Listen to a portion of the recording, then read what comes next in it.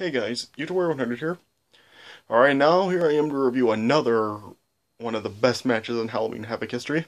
Now I'm going to talk about the match from Halloween Havoc 1996 be between Rey Mysterio Jr. and Dean Malenko for the Cruiserweight Championship. So, yeah, let me just talk about like the Rey Mysterio Junior Dean Malenko rivalry for, for a minute because I mean, yeah, I mean, yeah, this rivalry was like really awesome in 1996. Like these guys really did work like great together, and they like really had great matches. You had like Rey Mysterio's WCW debut match at the Great American Bash that year.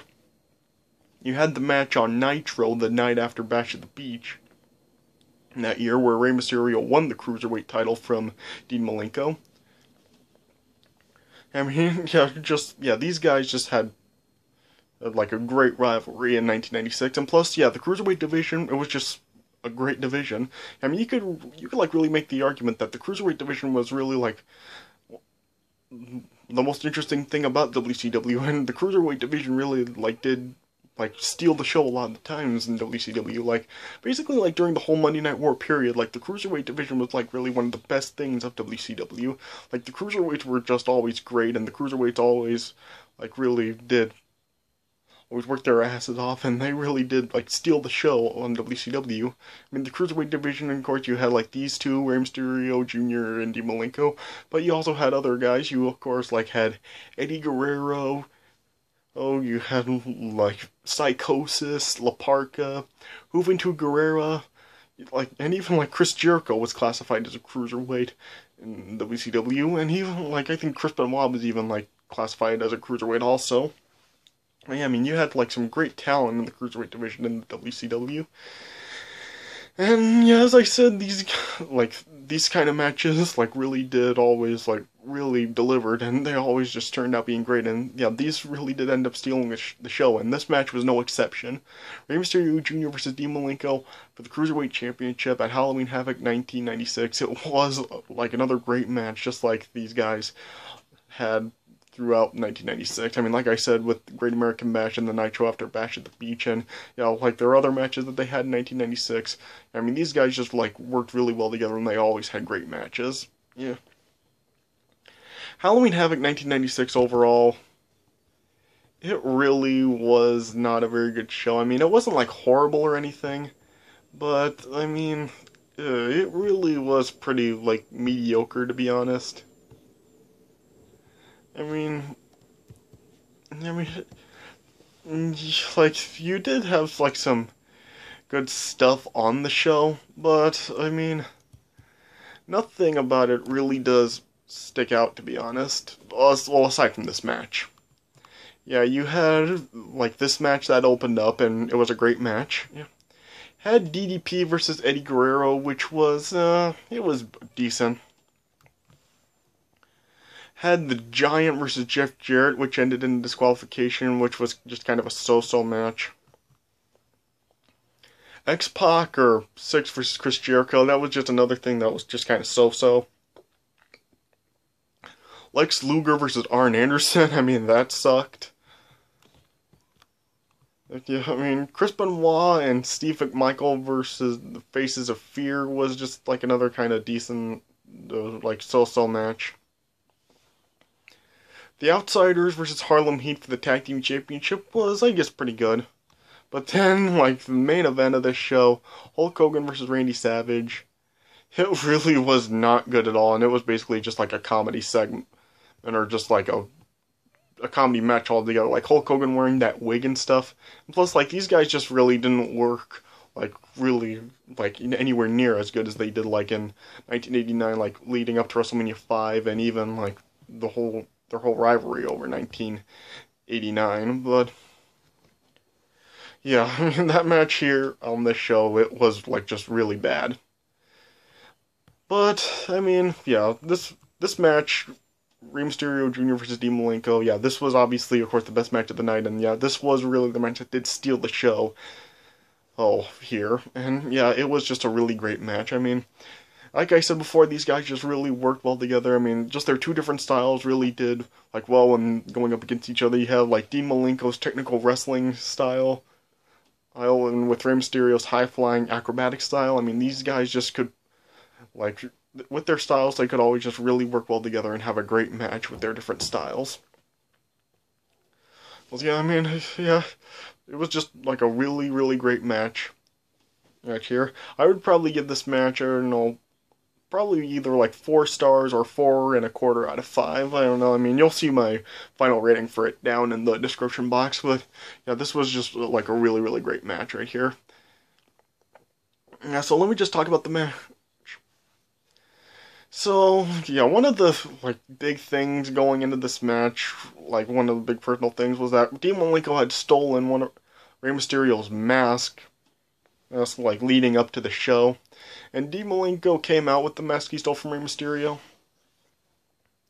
And like really early in the match, like Dean Malenko got a hold of the mask again, but then Rey Mysterio like took out Dean Malenko and then he got the mask back. And then he took off the mask that he was actually wearing out to the ring, and then he put on the mask that he got back from Dean Malenko. So I'm not really sure why he actually bothered to change the mask, because I really didn't see anything wrong with the mask he was wearing. Plus, the mask he got back really didn't match the wrestling tights that he was wearing, where the ma- as the mask that he wore when he came out did. And plus, like the first mask he wore, it's actually similar to the masks that he really does wear now, where it covers up his whole head.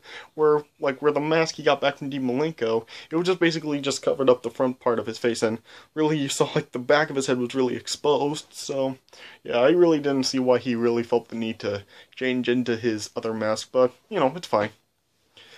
Yeah, and of course, like Dean Malenko like did a lot of submissions in this match. He like went for the Texas Cloverleaf and half Boston Crab, a scissors lock around the head, and he tried like a he did a like a sleeper hold along with a body scissors to Rey Mysterio.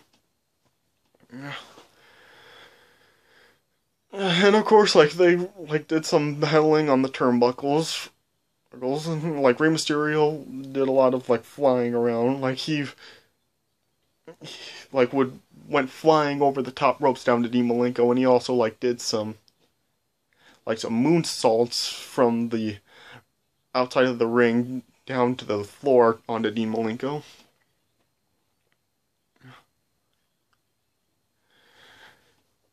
Uh, and yeah, it was just like a really, really great match. Like it just was a really good back and forth match. Both of these guys I got in their share of offense in, and both guys really looked good in here. It wasn't like one guy was dominating for the whole thing. Really. Yeah. And as I said, Malenko just, he had like a load of submissions here and executed them really well. And Rey Mysterio also got his fair share of moves in. At one point, Rey Mysterio tried to go for like the Hurricane Rana to go for the pin, but Dean Malenko survived it. And I think like Dean Malenko was one of the first guys to really survived the Hurricane Rana in the WCW from Rey Mysterio. Yeah. I really did like at one point Rey Mysterio tried to go for the West Coast pop onto Dean Malenko and then go for another Hurricane Rana, but Dean Malenko countered in, into a power bomb. Mm. Yeah. And at one point, like both guys were like battling on the turnbuckle again. Rey Mysterio tried to go for the hurricanrana onto Dean Malenko down to the ring again, but Dean Malenko like held on and stayed on to the turnbuckle. And Rey Mysterio tried to go for again, but then Dean Malenko was able to fight Rey Mysterio off, and then it was just a really awesome ending where like like Rey Mysterio was like leaning over the ropes or something, and Dean Malenko like like picked up Rey Mysterio looking like basically like hoisted him up over his shoulder and then just executed into a power bomb from the top turnbuckle down to the canvas, and then Dean Malenko got the pin, and he defeated Rey Mysterio, and then Dean Malenko won the Cruiserweight Championship back. So, I don't know. I mean, for Dean Malenko winning for me, I mean, it's not really like I really had a problem with it, but I don't know. It just after like rewatching some of these matches, like I rewatched the Great American Bash match and the Nitro match. I don't know. After seeing Dean Malenko regain the title here, I don't know. It just kind of like I said, I don't really have a problem with it, but it just kind of looks like a little upsetting to see like Rey Mysterio winning the title from Dean Malenko, and then losing it back to the same guy that he won it from all these months later. Uh, I don't know, man. I don't know, it's just kind of upsetting to see that in a way, because, I mean, you see a guy that was basically, like, really doing, and, like, really working to win a title like that, and then just to see them, like, kind of lose the title back to the guy that they won it from, I don't know, I mean, I just, yeah, it's not really like I really don't like that, but it's just kind of upsetting to see in a way. I don't know if, like, what I'm saying is making sense, but, yeah, it's just, like, yeah, well, yeah, it's just like kind of upsetting in a way to see like Rey Mysterio lose the title just right back to the guy that he won it from months earlier. But you know, it's it is what it is. I mean, it's not really like that big of a deal. So yeah, I guess yeah, nothing really wrong with it. Like it's just fine, and yeah, still a really great match, and yes, just some great stuff here, like that awesome ending and the counter from the Hurricane Rana into the power bomb, and just all the high flying spots here. I mean, it's just like yeah, this is a really, really great match. Like I said, I would probably give this either four stars or four and a quarter. Yeah, as I said, my final rating for this match will be in the description box. And uh, yeah, that's all I really can say about the match. I mean, yeah, just a really great match. And as I said, I mean, just yeah, this stuff like this with the cruiserweights. This was just like the stuff that really did steal the show most of the times in WCW. And but of course, like the stuff with the cruiserweights and stuff, like the what the cruiserweights were able to do, like shown in this match, it would only be set even higher. Or the cruiserweight title match that occurred the next year at Halloween Havoc. And so that is what I'm going to be talking about next. That's the next match that I'm going to be reviewing in this series of the best matches in Halloween Havoc. Alright, but anyway, yeah, that so I guess that does it for my review of Rey Mysterio versus Dean Malenko at Halloween Havoc 1996. So yeah, I hope you guys enjoyed this review of the match. So yeah, thanks for watching, and I'll see you guys later.